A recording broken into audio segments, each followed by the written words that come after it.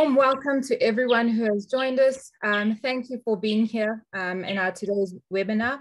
My name is Ziki Ngobo and I'm the Global Coordinator at Academic Stand Against Poverty, which is also known as ASAP. ASAP is an international community of scholars and researchers working to confront the rules and practices that perpetuate global poverty and advocate for targeted evidence-based reforms. I'd also like to mention uh, to, that today's webinar is not only supported by ASAP, but by the Global Justice Program at Yale University and the Jesuit Justice and Eco Ecology Network Africa. So today we're going to be discussing how we can transform Africa's food systems, which will be presented by our numerous guests, um, as you can see on the screen right now. Um, we've got a number of experts uh, who are joining us and they'll be sharing a bit of their work and what they think is the best way forward when it comes to transforming Africa's food systems.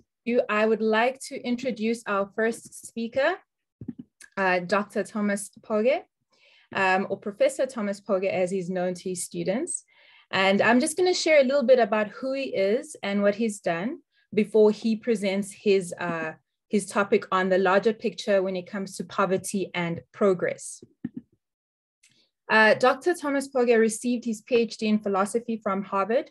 Um, he is a Leitner Professor of Philosophy and International Affairs and the founding director of the Global Justice Program at Yale University. He also co-founded ASAP as well as the Incentives for Global Health. Dr. Uh, Thomas Pogge, please go ahead and start your presentation. Hi, everyone. The US century starts around 1940.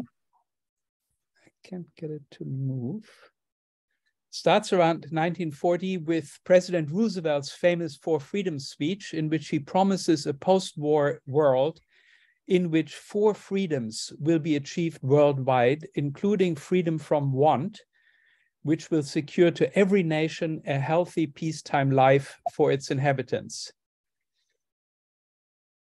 Since 41, the gross world product has indeed increased 17 fold. So, in that regard, Roosevelt was successful.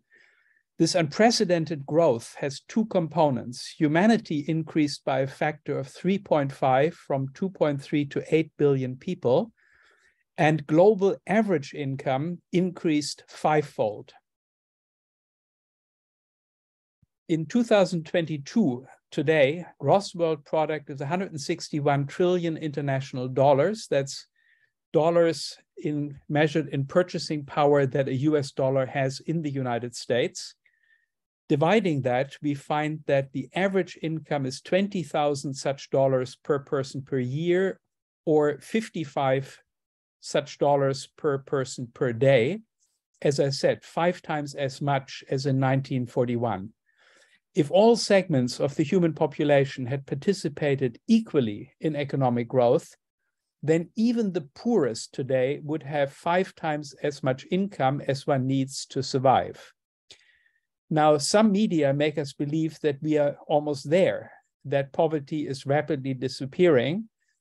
Here, this is from a discussion between Steven Pinker and Bill Gates, uh, telling you that hunger has essentially disappeared from this world if only that were true, what you can see here is that, in fact, the number of undernourished people was still 8% in 2015 and has been rising since that time to about 10% today.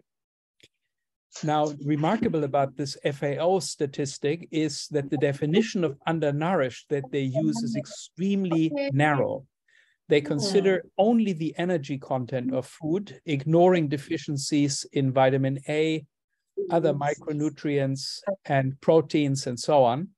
They count all the food that is ingested, ignoring the fact that many poor people have absorption problems due to parasites. They draw the line at what is needed to cover even minimum needs for a sedentary lifestyle, ignoring that many poor people have to work for a living and very hard, using a lot of calories. And it only counts as undernourished those people who fall short of that baseline for more than one year. Now, if we take a somewhat more generous conception of what it means to be undernourished, namely uh, the prevalence of food insecurity, we find that actually 29% of the human population are food insecure in 2021. And again, look at how that number has been rising. Things have gotten even worse in the last one and a half years through COVID and the war in Ukraine. As you can see here by looking at food prices, real food prices, food prices relative to prices of commodities in general, are higher than they have ever been since measurements began in 1961. Just at this time, of course, uh, we also have a crisis in energy. Energy prices are also very high. And so the rich countries, in their wisdom, have decided to increase biofuel production in order to reduce energy prices. And a huge chunk of the global food supply is actually diverted to biofuel, converted into ethanol and biodiesel. Maybe not a good time to increase it because that, of course, again, drives up food prices. It's not a long term solution, but certainly it would help in the short run to reduce uh, the biofuel mandate. Here's another statistic people unable to afford a healthy diet in 2020 that percentage is 42%. Now, many of us don't eat a healthy diet. We go to eat French fries and so on, but these are people who cannot afford a healthy diet, which the FAO assumes costs about three and a half dollars in per person per day in international dollars. So after the global average income is increased fivefold, we still have 42% of the human population who cannot afford a healthy diet costing $3.50. Now, this alerts us to the huge and increasing inequality in the world. You see here the global income distribution. This is the average income. Only 6% of the world's population have the average income or better. The other 94% have less. And here you can see those who have less than $5 a day those are the people who cannot afford a healthy diet costing 350 because they also have to buy clothing and shelter and so on. Food insecurity is not the only problem. Poor people suffer many other deprivations lack of access to essential medicines safe drinking water adequate shelter electricity adequate sanitation. Many of them are still illiterate and more than uh, 160 million children do wage work out of their household. That is to say, they don't go to school, they don't get an education, they work. Increasing inequality, again, here you see it, the income has the income gap between the top 1% and the bottom 50% has been rising steadily. And today, the top 1% have four times as much income as the bottom 50%. This means that if we just reduced the income of the top 1% by one quarter, that would be enough to double all the incomes in the bottom half. Poverty and inequality are closely related. Mathematically, the less of a share the poor get, the poorer they are, of course, but also politically, the farther poor households fall below the average, the more underrepresented they tend to be in political decision making. So we find here two different factors that collaborate to achieve this enormous inequality that we find in the world today. They are the initial conditions deeply tainted by a history of colonialism, genocide, and slavery that was continued into the post colonial period and led to international inequality up to 74 to 1, where the richest countries have 74 times the average income of the poorest countries. And then comes the second factor the structuring of institutions and other rules and practices of national and international social systems, where, of course, those who have more resources can exert more political influence and can shape these rules and their application in their own favor, thereby further enriching themselves by capturing an even larger share of the national and global product. Now, this regulatory capture is a very well known phenomenon in economics those who are the strongest in a given system have the greatest opportunities and incentives to achieve the expertise and coordination needed for effective regulatory capture.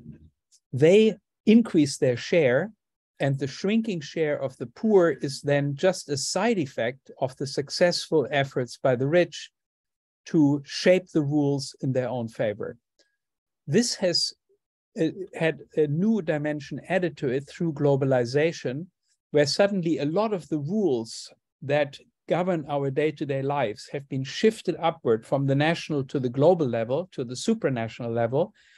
And here again the rich the billionaires the bankers the uh, big multinationals have had a tremendous advantage in influencing this new global rulemaking through their governments in particular through the US government which is the most powerful player in international relations, it is also a democracy that is very much for sale, in that in the US, elections are privately funded, and millions and millions, in fact, billions of dollars have to be raised each year for politicians to continue in office. So private agents are in a particularly good position to influence the US government to do its bidding in international negotiations. Here are some examples. Intellectual property rights that we innovate and pay for innovation through monopoly patents, which means poor people don't get access and the needs and interests of poor people are ignored by the innovators. Natural resource sovereignty. Rulers in developing countries can sell the resources of their country to foreigners get money in exchange and keep themselves in power, even if they lack any kind of democratic legitimation. No liability for externalities. So, emissions, pollution, uh, the North is doing what it wants and doesn't pay for the cost and damages to the global South. There are no international labor standards that protect poor populations from a race to the bottom, where poor countries offer ever more exploitable and abusable workforces to multinational corporations. And finally, the global tax system, which is dominated by a global tax haven industry, where multinational corporations can reshuffle their profits from developing countries into tax havens and in that way avoid taxation. And of course, rich people in developing countries also avoid taxation by storing their funds in one of those global tax havens. That's it for my presentation. Thank you very much. Thank you so much, Dr. Pogge. Uh, a very insightful presentation and does really show that we still have a long ways to go before we can say that we are making that much of a progress to bridge the gap that you have just mentioned.